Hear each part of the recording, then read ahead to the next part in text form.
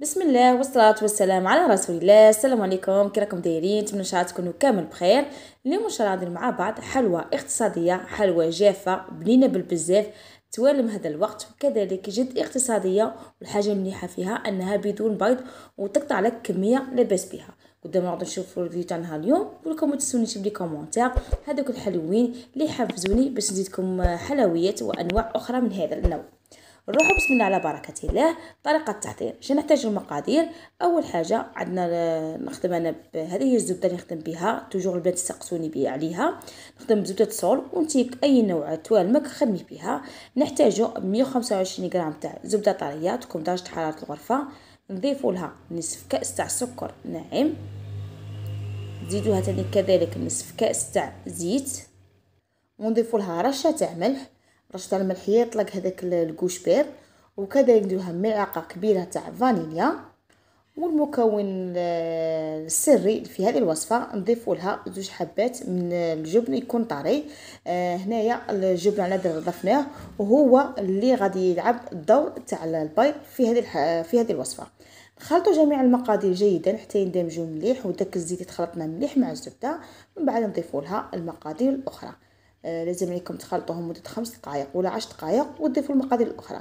شنو نحتاج المقادير الأخرى؟ عندنا كاس تاع كوكاو اللي يكون محمص ومرحي هنايا عندكم الاختيار. تبغوا ديروا كوكاو محمص ومرحي تبغوا ديروا جنجلان تانيك محمص كيما تانيك قادرت تستغنوا على هادو المكسرات وديروا gaufrette يكون آه، مرحي هنا بعد ما ضفنا هذاك الكوكاو وخلطناه جيدا.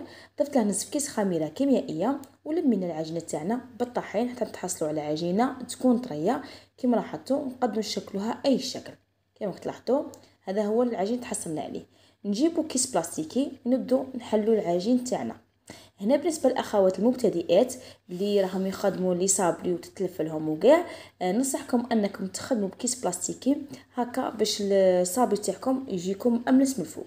في هذا الوقت اللي نخدم في لي نورق فيه ندير الفرن تاعي سخون درجه حراره 180 نقطع كامل الحبات بهذا المول على شكل هلالات وأنتم خيروا الشكل اللي والكم والشكل اللي عندكم.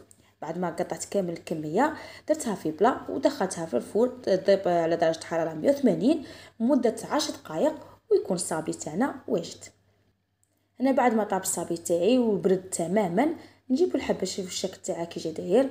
ما يجي غير بزاف ما يجي رقيق بزاف. ويجي الحبة قد اختها هنا نجيبو كمية من المعجون أي معجون اللي تحبي أي معجون اللي تبغيه درت هنايا درت معجون بذوق المشماش ولصقت حبة مع حبة ومن بعد آه، خيطهم يشد روحه مليح ومن بعد نضو مع بعض نقلاصو.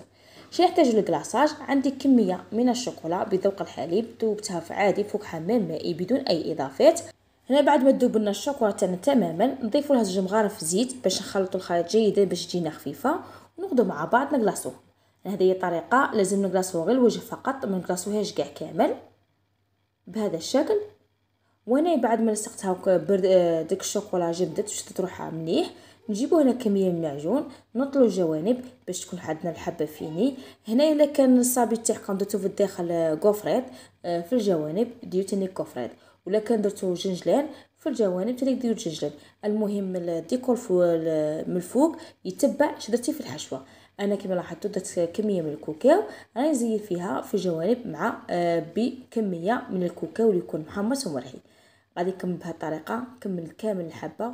وماذا بكم تفدوا غير الحبة غير من تحت باش السطح يبدأ يقعد لنا املس ويقعد لنا bien fini.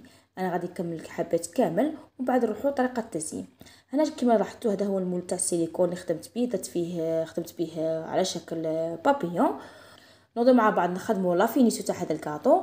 هنا كما لاحظتوا الشوكولا اللي خدمت بها آه غير هي درتها في la poche ودرتها على شكل خطوط وحطيت هذاك البابيو من الفوق أنا غادي نكمل بهذه الطريقة نكمل كامل الحبات اللي عندي من بعد تلاقوا نشوفوها في صحن التقديم. كما لاحظتوا هذا هو الشكل النهائي تاع الصابي تاعي بعد ما كملته وزيدته بهذه الطريقة صدقوني جا بنين جا شباب شوفوا الشكل تاعها تاعها راقي وجد اقتصادي. نتوما في هذه المرحلة تقدوا غادي نقسم لكم قدام نقسم لكم الحبة باش تشوفوا الشكل تاعها كي جا داير.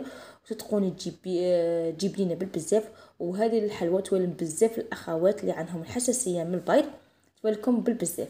هنايا آه عندي ملاحظة. لكن نتوما باغي ديروه غير لداركم ولا لوليداتكم تقدروا تستغنوا عن ديك الكمية تاع الشوكولا وترمدوا كامل الحبه في الكاكاو محمص ومحي تاني كتجيكم بطريقة شابة وبنينة. آه، أما بالنسبة لعدد الحبات هذه الكمية شحال قطعت لي قطعت لي أكثر من 30 حبة. نتمنى إن شاء الله وصفه تاع النهار اليوم عجبتكم. نتمنى إن شاء الله كنت خفيفه ظريفة عليكم. دوك ما لي نقول لكم إلى الملتقى إلى فيديو آخر إن شاء الله.